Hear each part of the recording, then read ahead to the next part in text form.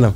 But he was a liberator. He fought for his people. So Tupac believed in fighting for his people and he loved his people. Wow. Now Charleston White saying that they gave him the state gave him permission to use the NIGGA acronyms and like Tupac people said nobody know what the Z stand for because Pac never clarified that. But never ignorant getting goals accomplished.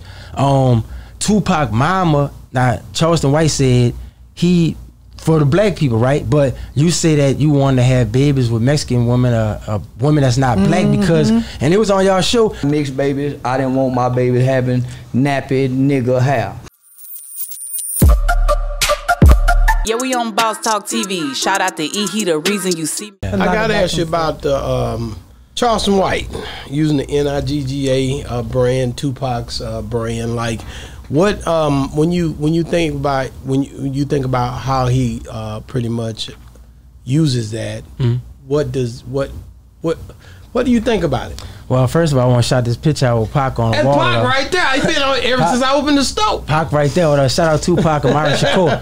First of all, I'm gonna say this whatever because Pac got his name from uh, uh, um a Peruvian liberator. I think the guy yeah was from Peru. The original um Tupac Amaru is a, is a tribe of them. There's a lot of them named after that or whatever. And Tupac Mama named in that because she wanted to know not just black people went through a struggle, different people went through a struggle. And Tupac Amaru was trying to liberate his people, but they killed him. They tied him up with horses to his arm and his legs, and they pulled him apart wow. to kill him. But he was a liberator. He fought for his people. So Tupac believed in fighting for his people and he loved his people. Wow. Now Charleston White saying that they gave him the state gave him permission to use the NIGGA acronyms and like Tupac people said nobody know what the Z stand for because Pac never clarified that. But never ignorant getting goals accomplished. Um, Tupac mama now Charleston White said he for the black people, right? But you say that you want to have babies with Mexican women, a, a woman that's not black, mm-hmm. because and it was on y'all show. Mixed babies. I didn't want my baby having nappy nigga hair, cause we was taught that nappy hair was bad. All niggas I knew grew up putting S curls and, and, and shit on and, and, and dukes on their hair. Uh, all the women I saw from the 80s on up, I remember it used to be shameful for black women to wear weave. Mm. They would sneak it in, and you didn't know they had it. Uh, so yeah, I, I, I wanted my children to have good hair. So I had mixed kids. Right. Because he felt like the hair gonna be nappy or coarse hair. Um, so he don't want to have a baby with a with a black woman because he don't want no nigga hair. He was saying, Tupac loved niggas, if you want to say that. He loved black people. His mama was very, very dark. Mm-hmm. His sister Set is very, very and dark. She was skinned. for black folks. And his mama has a, a, nose, wide nose features, really African features or whatever. So for you to say that you don't like that, Tupac mama, when she left North Carolina, because that's she was born there, when she moved to New York, she wanted to be a cheerleader. Everybody teased her because of her hair was coarse mm. and she wore hair low. She was pro black because she was a Black Panther. So she mm-hmm. loved black people and she loved herself. So for you to say you represent that and you tearing black women down, then one time he was saying, oh, a woman that won't give me no sex, so I, I force myself on it and try to eat her pussy and rape.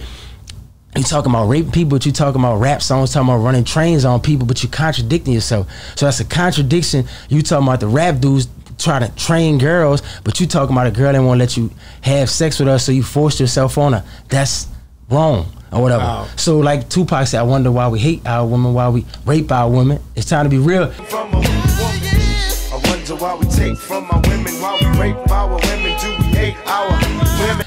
Blacker the berry, the sweeter the juice. So I hope that if he want to do that, because Tupac, I mean, um, stepdad, Mutulu Shakur, was definitely a dog guy too and he definitely loved black people too and his hair was locked up or whatever too because he wanted to show his pride so i just feel like for him to represent that and saying that he wouldn't he don't that's why he didn't want to have kids for a black woman because he didn't want to have no nigga hair that's the crazy like like i don't really know what part of Pac inspired him Pac inspired me, and I would never say nothing like that. I would never look down on darker complected uh, women because Dave's mama or daddy at the time probably didn't get raped by a slave master I had that type of hair.